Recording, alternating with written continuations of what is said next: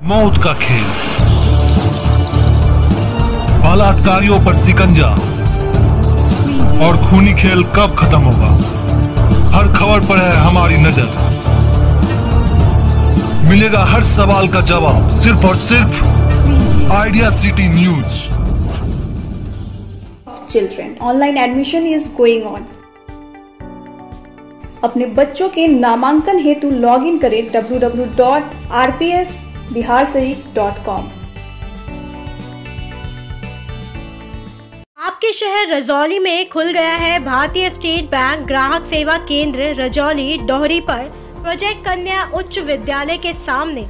यहाँ पर सभी बैंकिंग से जुड़े सुविधा उपलब्ध है, जैसे कि account balance, passbook update, passbook print, नया खाता, रुपए कार्ड और अन्य बैंकिंग सेवा भी।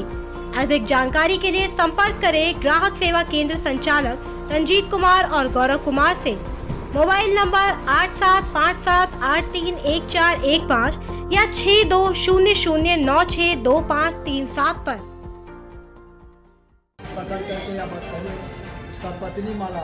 खबर बारिश नगर प्रखंड की जहाँ आपसी विवाद में गोटिया ने ज़मीन हड़पने के उद्देश्य से बार बार मारपीट करके अपने रिश्तेदारों को अपनी ही पुश्तैनी जगह से भगाने का प्रयास किया। जिसमें आज फिर एक बार मारपीट का मामला सामने आया है। मारपीट करने के बाद मारने की कोशिश की गई, जिसमें ज़मीन हड़पने के उद्देश्य से मारपीट किया गया। इसके बाद मारपीट के दौरान उन्हें जख्मी कर दिया गया।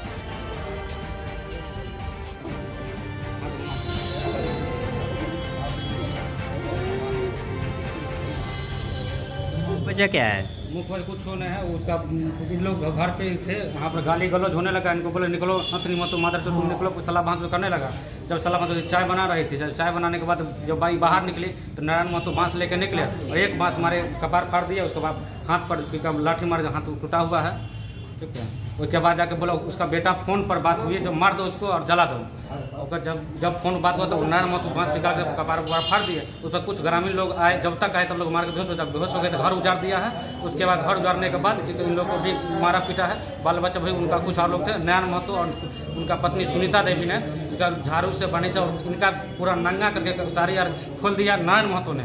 उसके बाद उनकी पत्नी आई उधर से और झाड़ू से, झाड़ू को जो पिछला किन्हू होता उससे मराठी है पूरा बदन में पूरा छाप है। इसका तो तो इस मामले के आप लोग आवेदन दिए थाना में क्या? कोई कार्रवाई? अभी नहीं दिया अभी जब बेहोश हो गए तुरंत हम लोग हॉस्पिटल लेके आए हैं। क्या नाम हुआ आपका? मेरा नाम सचिन कुमार हुआ। कहाँ की घटना है? पूर्णाही पंचायत वार्ड नंबर दो। कौन सा प्रखंड? वारिस नगर प्रखंड पड़ता है।